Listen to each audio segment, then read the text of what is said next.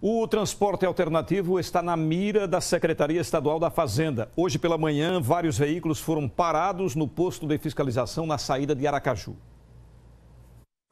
Uma operação relâmpago com transporte alternativo de passageiros na saída de Aracaju.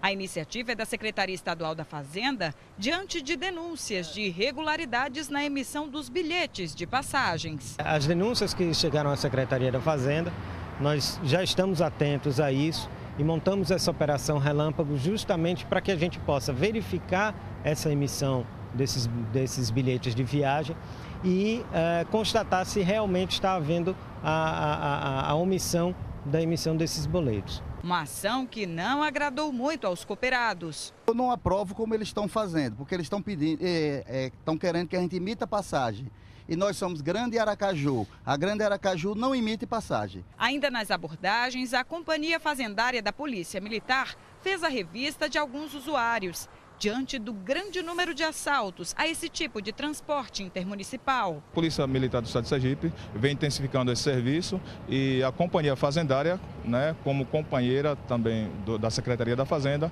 vem fazer esse serviço de abordagem pessoal, haja vista que o índice de criminalidade nos ônibus coletivos estão aumentando. E os passageiros pedem mais ações como essa. É ótimo, é ótimo. Era bom que todos, todas as horas, em todas as topics fossem feitos esse trabalho, porque a onda de assalto está demais. A gente não tem segurança em lugar nenhum mais.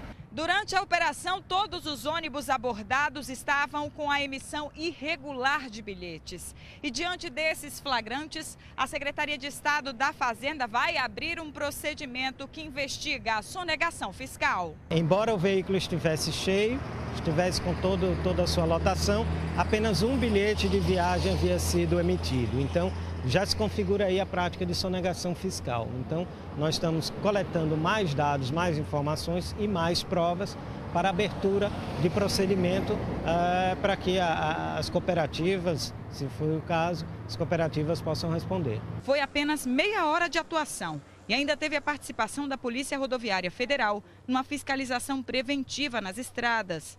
Cada órgão está atuando dentro da sua área de competência. Nós estamos fiscalizando os motoristas excesso de passageiro, alcoolemia e também aproveitando, apoiando a PM na fiscalização de segurança pública. Né? É excelente esse trabalho, viu?